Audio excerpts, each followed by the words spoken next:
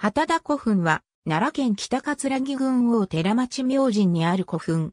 形状は円墳。奈良県指定史跡に指定されている。奈良県西部、久津下川西方の丘陵上に築造された古墳である。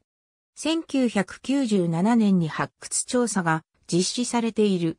墳形は円形で直径15メートル、高さ約4メートルを測る。墳丘周囲には外後列石が巡らされる。主体部の埋葬施設は両袖式の横穴式石室で南方に開口する。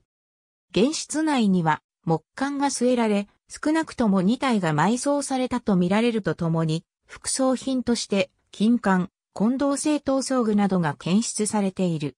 この旗田古墳は、古墳時代終末期の7世紀初頭頃の築造と推定される。王子町では古墳が少なくいずれも7世紀代の築造と推定されるが、本古墳はその中で最大規模かつ単独墳であり、当地域の開発を物語るとして注目される古墳である。また、墳丘の形態及び副葬品の様相から、被葬者にトライ系の性格を指摘する説がある。古墳域は2007年に奈良県指定史跡に指定されている。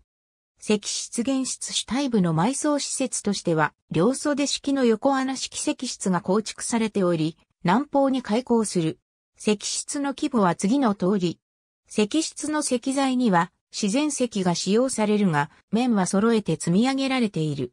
原室内には木管が据えられ、2体以上が埋葬されたとみられる。